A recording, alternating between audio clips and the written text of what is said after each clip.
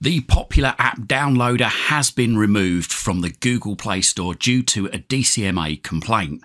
Now, if it's removed from the Amazon App Store, that means we can't get it on Fire TV sticks, Fire TVs, or Fire TV cubes, which is a real problem because this is the only way at the moment that we can sideload apps onto these devices, or is it? We're going to look in this video at a backup plan just in case Downloader does get removed from the Amazon App Store and removed from Fire TV sticks, Fire TVs, and Fire TV cubes. If you're watching this video as a short, then tap on the thumbnail in the bottom right hand corner right now to see the full video. If you're already watching the full video, hang tight, more details coming up shortly. Don't forget to like this video, share it and subscribe to my channel.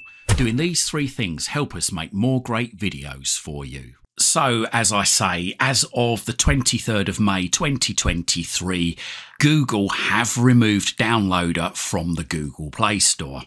This is in response to a DCMA complaint that was made to them. Now, at the moment, thankfully, it is still available on the Amazon App Store, which means it's downloadable onto Fire TV sticks, Fire TVs, and Fire TV cubes. But what happens if a DCMA complaint is made to Amazon and they have to remove it from their store.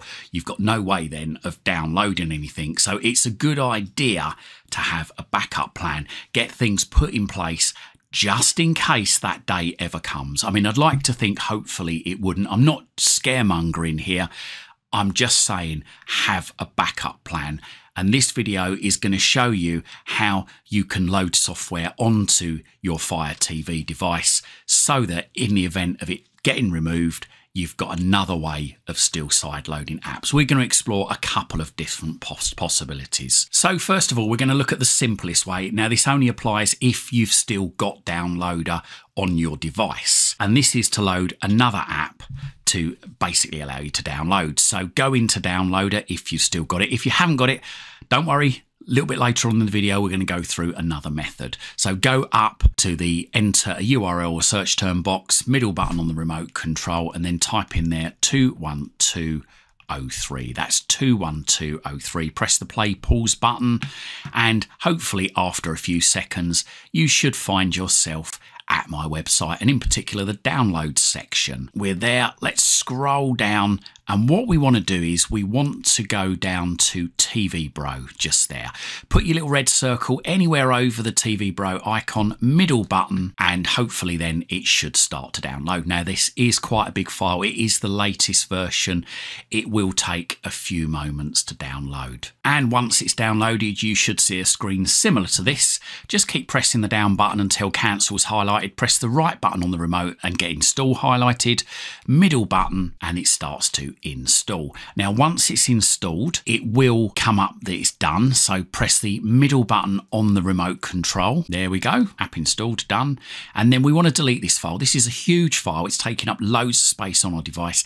So go across to the right to highlight delete, middle button. Go across to the left to highlight the second delete, middle button. And then keep tapping the left hand side of the ring on the remote until home's highlighted, middle button, back button twice. And then what we want to do now is we want to press the home button on the remote control to go back to the main screen. Go across to the settings cog just over there. Go down and across to applications, middle button. Go down to manage installed applications, middle button, and go down until we find TV Bro. Now, this is sorted alphabetically, so keep going down. And once we see there TV Bro web browser, middle button on the remote, and we need to go into permissions. So make sure that's highlighted, middle button. We need to make sure that storage says allow. At the moment, it says deny. So highlight storage, middle button, and there you go, it goes to allow. Otherwise, you'll find you won't be able to download anything. Back button on the remote control and keep pressing the back button until you go back to the main screen. Then go across to the settings cog and then go down to My Fire TV, middle button, go into Developer Options, middle button, go into Install Unknown Apps if you have it, middle button, then go down to TV Bro TV Web Browser. And there you should see it says off middle button on the remote control and that turns it on. If you've got apps from unknown sources, go down to it, middle button on the remote control if it's switched off.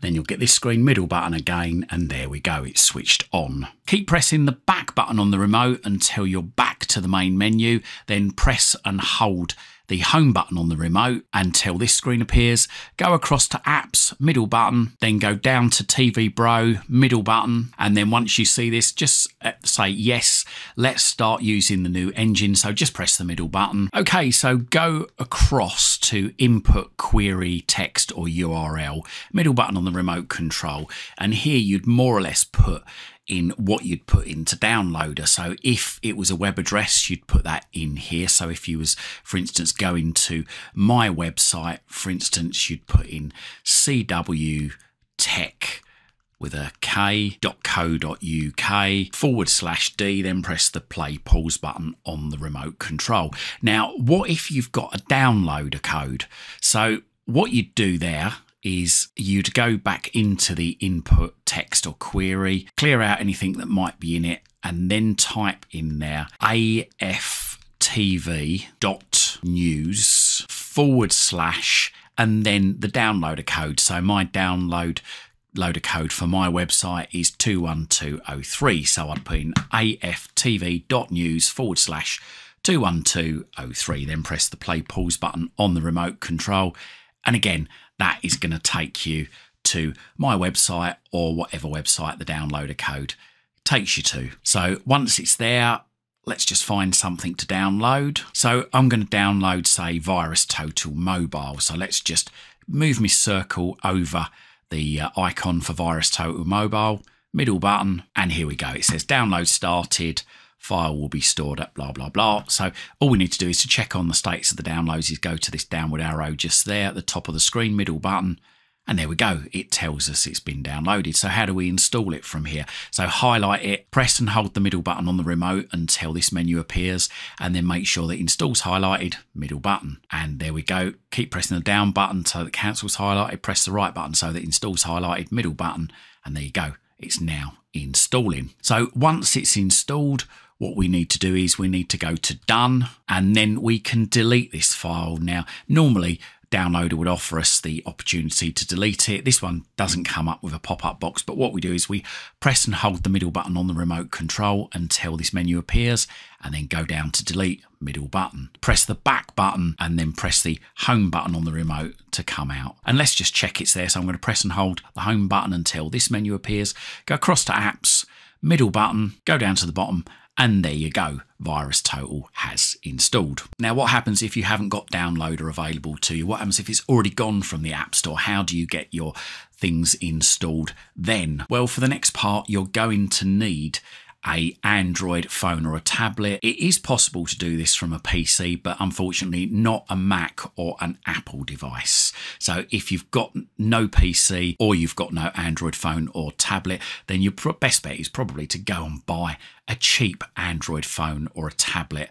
Even a second hand one will do. Doesn't need to be the latest and greatest phone or tablet, just as long as it's got an Android system in, then you'll be absolutely fine. So what we need to do first of all is we need to make sure that ADB debugging is switched on in developer options. Now, if you haven't got developer options, press the home button. That's the picture of the house on the remote control to make sure that you're back to the home screen and then go across all the way to the right to the settings cog. Once that's highlighted, then go down to My Fire TV, then press the middle button on the remote and then you're looking for developer options. Now, if like mine, you don't see it, then all you need to do is go into About and then find the name of your device and highlight it. Like mine, mine says Fire TV Stick 4K. Yours may say something different just press the middle button on the remote control until you see no need you're already a developer come up at the bottom of the screen. Then stop pushing the middle button. Then press the back button on the remote and there you should see developer options just below about go down to developer options, middle button, and then make sure that ADB debugging is highlighted. If it's switched off, middle button on the remote control, and that turns it on. So we then go to our phone or tablet and we go into the Play Store. So find that and then tap on search just up the top. And what we're searching for is easy fire tools. So I don't know if you can see that there. I've searched for easy fire tools. Press the blue button. And then what we're looking for is we're looking for this here. Easy fire tools. Press the green install button. Let that install. Now the next thing we need to ensure is we need to make sure that we are connected to the same Wi-Fi network that our Fire TV stick, Fire TV or Cube is connected to. And then we can open up Easy Fire Tools. There we go, we're now open. Next thing I need to do is I need to go back and down to my Fire TV. I'm just going to move the phone out of the way for a second. So as I say, we need to go down to My Fire TV in the bottom left hand corner, middle button, and then go into About, middle button, and then go down to Network. And we need to take a note of the IP address. That's the second address, not mine. Don't take a note of mine. Take a note of whatever is below yours. You're going to need that in a second. Let's go back to the phone. Okay, so what we're going to have to do first of all is we're going to go to the three horizontal lines in the top left hand corner, just there. Tap on that. Go down to settings, tap on that, and then go down to IP address just down there. Tap on that, and we need to change that to match whatever we've got on the Fire TV stick, cube, or TV. So mine says 10.106. So I'm just going to change that to 192.168.10.106. Let's just do that. There we go. So as you can see, mine now matches the IP address on my Fire Stick. Hit OK, and then let's just come out of this. So press the back button once, and then let's go up to the two little plug sockets up there. And there you go. You should see this allow USB debugging appear. Now, when you see that, then make sure that you put a tick in always allow from this computer then go down to OK and middle button. Now you probably will find it comes up saying authorization required. The current device is not authorized to connect. An authorization request has been sent to the device. Please confirm the request and continue here after that. So tap continue and there we go. The little plugs have now gone green which means it's connected. Now if you do have any trouble with the uh, connection if it basically says that the device hasn't got ADB switched on or enabled then best thing to do is go into developer options go into ADB debugging turn it off and then turn it back on again. If that doesn't work after doing that a few times and you're still getting this message, then go down to restart there and restart your device. And then again, try toggling the um, developer options ADB debugging off and back on again. Sometimes it doesn't always connect first time. So the next thing we can do is let's just go into Chrome and let's just go to my website and I'm going to download downloader. So let's just go down, find downloader. There it is. Tap on that and let it download. Once it's downloaded, then what we can do is we can go back into Easy Fire Tools. Make sure that we've selected side load there on the left. So that's under the three horizontal lines, side load and then tap custom APK file and then tap select file. And there we go. There's downloader just there. So let's tap on that. And there we go. It gives us the opportunity now to install it. So what I'm going to do is I'm just going to go back. Don't have to do this, but just to prove that it's installing it remotely, I'm going to go